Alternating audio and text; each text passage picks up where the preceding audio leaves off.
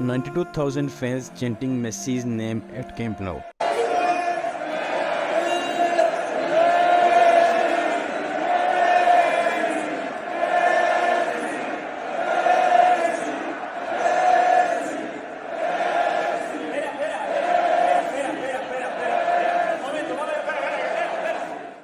More than 92,000 fans filled Barcelona's Camp Nou stadium on Sunday to watch the first ever King League's Final Four event.